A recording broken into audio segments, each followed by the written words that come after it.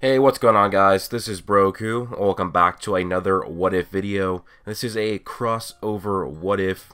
What if Goku landed in Black Clover instead of Dragon Ball? Now I wanted to do this because Black Clover is one of my favorite series right now, and combining it with my favorite anime series of all time would be pretty interesting and entertaining for myself and hopefully for you guys as well. I'll be doing a little bit of a summary of the Black Clover world for you guys before I begin, but I'll also be doing the inverse of this video sometime in the near future, where I'll be doing what if Asta was in Dragon Ball? It would just be being Asta left at Grandpa Gohan's house instead of the church in Black Clover. But this is also going to be on my second channel, Broku no Hero, linked in the description below. So if you want to eventually see that video of Asta being in Dragon Ball, then go subscribe to my other channel where I cover Black Clover and My Hero Academia, and then check that out there. Also guys, please do leave a like and subscribe as well as turning on notifications if you do end up enjoying this video. So, in the Black Clover world, pretty much everyone is born with the ability to use mana, which they use to create magic. Magic is very important and used to do pretty much everything in the world. The majority of the story takes place in the Clover Kingdom, where there's a king,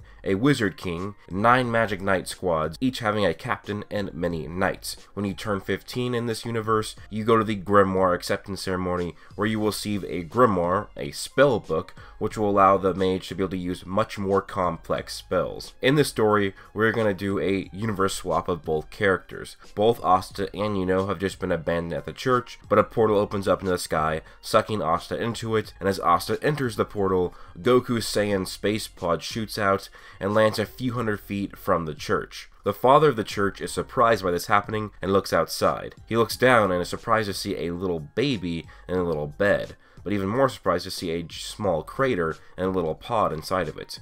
The father would eventually open up the pod and find a little baby Goku sitting inside of it, so he picks him up and brings him to the church. While he's extremely confused that he can't sense any mana from this little tailed baby, but he's also intrigued with them, and I mean, he's the father, he's going to keep him. Just like Baby Asta, Goku would be very rambunctious and sporadic, so things would go pretty similar in the beginning. Although something that would need to happen here is a concussion. Goku needs a head injury, or else some Magic Knight squad is going to, have to come and absolutely slaughter him because even though Goku is a Saiyan baby with his power level of 2, he's actually weaker than the average human, and that's gonna, you know, not gonna be nearly strong enough. And remember, Baby Asta his kick was strong enough to knock back Father and make him stumble. The father is a mage, so Baby Asta is actually stronger than Baby Goku, which is pretty interesting. But that wouldn't last long until because Goku, once he becomes an older kid, he's gonna surpass Asta. But as for Goku's head injury, he is being crazy and aggressive one day, and he sees the giant skull of the slain demon. He climbs to the top of it instinctually as he pretends he has triumph over this being, and then after he gets to the top, he falls off and hits his head on the ground, forever turning the aggressive Kakarot into the calm-hearted Goku. Now, over the course of this, Goku would act as a normal kid. He wouldn't have mana, though, because he's not from the Black Clover universe, so he's not going to be born with mana. But he would still have basic ki control, because usually Saiyans can naturally do that, although Goku did need to learn much of his ki control in Dragon Ball Z through you know, other ways. Goku wouldn't receive much training, but he would still be a physical phenomenon. He wasn't even trained much by Grandpa Gohan, and by the time he was 12, he had a power level of 10, and no, that's not twice as strong as the farmer with the shotgun. He was able to effortlessly lift cars, had epic durability like tanking bullets, and much more. It was also very fast. Now, he ran like, like a 5 second 100 meter dash at one point, but that's kind of like a slow outlier, because he also went to the moon and back quite quickly. Then he has other speed feats that are far faster than when he began his training with Roshi. But the original Dragon Ball was much more of a gag manga than Dragon Ball Z or any of the other continuations, which explain the inconsistencies in his scaling. But overall, I do see the story going pretty similar in this, except I don't really see Goku falling in love with Sister Lily, as Goku just isn't that type. And I do want to give just a bit of a side note. I could completely change Goku's character because, logically, Goku growing up in a small village with actually foster siblings and foster parents, that would completely change his character and the way he acts. And but that would really defeat the purpose of having Goku in this what if, because then he'd be a completely different person. So we're going to keep Goku's personality. Goku and Yuno would still have the same brotherly moment where Goku would save Yuno and stop the drunkard from stealing Yuno's pendant, which would prompt both of these two young warriors to have goals of one day becoming the Wizard King. Goku trains heavy physically for the five years before the beginning of the series, while Yuno does this as well.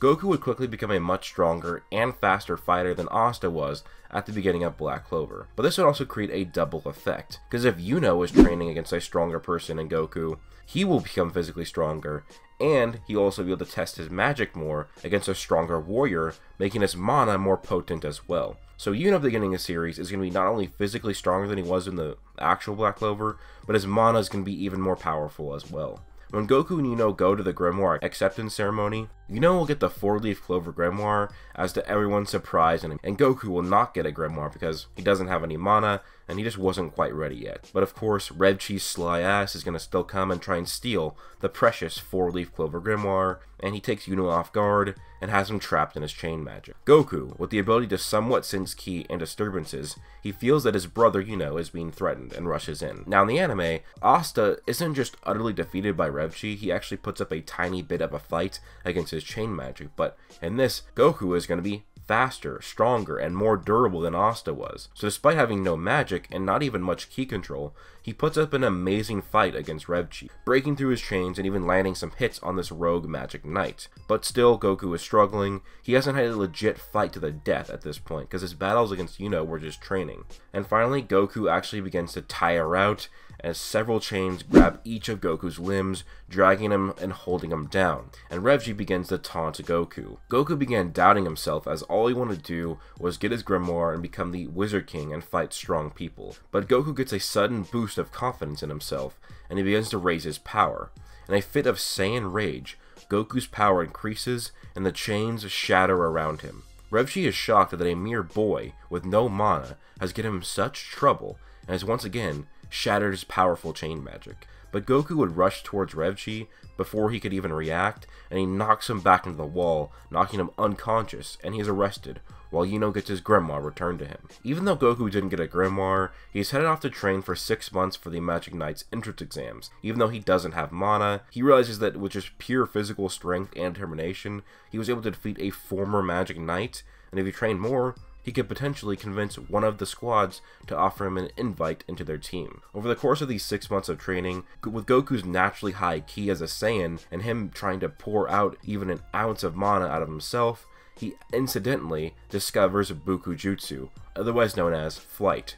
Goku practices his flight and adds it to his repertoire. After the six months, Goku and Yuno both head to the exams, and just like Asta, Goku would have his run-in with Yami, and Yami would be really weirded out that someone as physically as strong as Goku even existed. You could even tell Yami noticed something was different about Asta when he first met him, but it'd be even more different for Goku, who would be far stronger than Asta was. A teenage boy rivaling his power? It starts off pretty funny as because Goku can actually fly, and because of this he can transfer it and he can actually fly on his broomstick. But many of the Magic Knight captains were like, what the hell is he doing? How is he doing this? He doesn't even have any mana, but he's flying. What is he doing? Is he cheating? They tried to figure it out, but they couldn't figure out what Goku was doing to make himself fly if he didn't have any mana and didn't even have a grimoire. He would pass that test, but he would fail pretty much every other aspect of this exam, and that is when we get to the battle portion of this exam.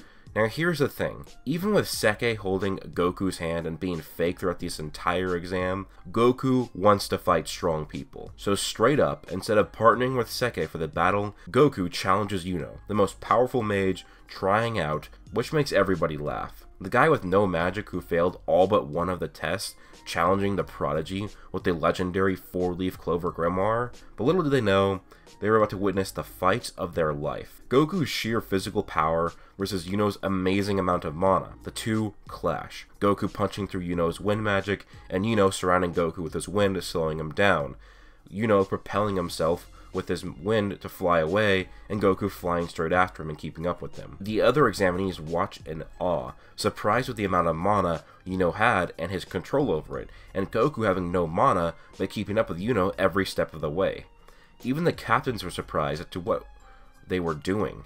Yami was watching Goku carefully, using his own version of Ki to try and figure out what exactly Goku was doing. Over time, the fight began to get out of hand, and eventually the captains would call off the fight, thinking that both of these two had displayed enough of their power. Finally, the examinees gathered in front of the captains and awaited their number being called. Of course, when Yuno's was called, every single captain raised their hand, and eventually he would join the Golden Dawn.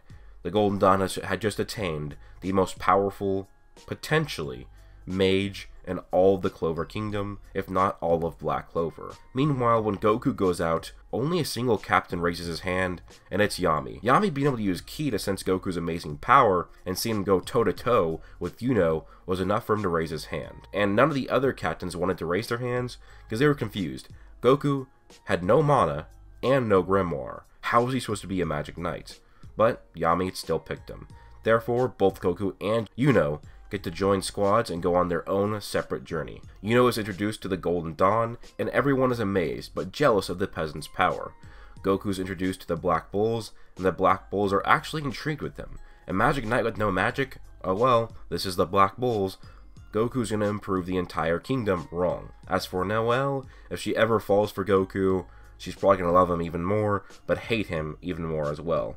But anyways, sorry for the beginning being so similar to Black Clover, but I'm going to be doing a second part of this soon, and it's going to be a lot more different than Black Clover. There's still some differences here, but really the main difference is that Goku doesn't get a grimoire, and Dill doesn't have any power, it's just sheer physical strength, and also having Yuno and Goku fight each other, I thought that was pretty cool. And just imagining that in my head, like, I would actually want to see that. Now, of course, not Goku in Dragon Ball Super. He would wreck Yuno, but, like, Goku in this scenario. But also, guys, don't forget to tune in to the inverse video of this. What if Asta was in Dragon Ball on my other channel, Broku no Hero, link below. That'll be probably uploaded sometime next week. But anyways, guys, please do leave a like if you enjoyed, and also comment and subscribe. Hope you guys all have an amazing day. Peace out.